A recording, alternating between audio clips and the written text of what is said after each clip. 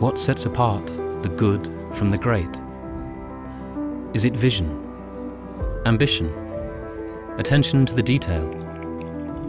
There is a story behind every great cocktail, just as there is a story behind every bottle of Luxardo Maraschino, a 200-year-old tale of a family's passion. Zara, 1821. Napoleon is defeated. Europe is at peace. Girolamo Luxardo and his wife Maria reimagine and refine a centuries-old tradition.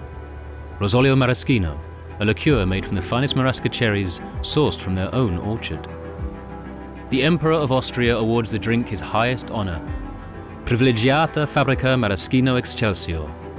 Soon, the Emperor's choice is the choice of connoisseurs across the globe. An empire falls, two world wars rage and tragedy befalls Luxardo. Girolamo's dream is destroyed, his orchard burnt to the ground. Just one cherry sapling is saved. 1946, and as the sound of air raids and the fog of war disappears, Giorgio, the fourth generation Luxardo, rebuilds his great-great-grandfather's dream, a new home, Torreglia, Italy. Today, the sixth generation of the same family manage 29,000 Marasca cherry trees, all descendants of that surviving sapling.